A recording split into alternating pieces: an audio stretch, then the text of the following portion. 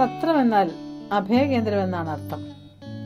മറ്റൊരിടത്തും അഭയം കിട്ടാത്തവർക്കുള്ള രക്ഷാകേന്ദ്രം. യോസഫിന്റെയും മേരിയുടെയും മുൻപിൽ അഭയകേന്ദ്രങ്ങളായി തീരേണ്ടതായിരുന്നു അന്ന് സത്രങ്ങൾ. അവർക്ക് അഭയം നൽകാത്തതുവഴി സത്രം എന്ന വാക്കിന്റെ അർത്ഥം തന്നെ നഷ്ടപ്പെടുകയാണ്. അഭയകേന്ദ്രങ്ങൾ അഭയം നൽകാതെ വരുമ്പോൾ അർത്ഥം നഷ്ടപ്പെടും. നമുക്ക് പരിശോധിക്കാം. അഭയകേന്ദ്രമാകാൻ എനിക്ക് കഴിയുന്നുണ്ടോ? മറ്റൊരിടത്തും അഭയം കിട്ടാതെ രക്ഷാകേന്ദ്രം കിട്ടാതെ അലയുന്നവർ അവരുടെ അരികിലെത്തി.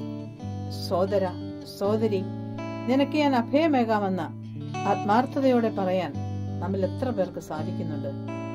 വിശക്കുന്നവന് ഭക്ഷണമായും ദാഹിക്കുന്നവന് ജലമായും വസ്ത്രമില്ലാത്തവന് വസ്ത്രമായും തൊഴിൽ രഹിതന് തൊഴിലുമായാണ് നമ്മൾ അഭയകേന്ദ്രങ്ങളായി തീരേണ്ടത്.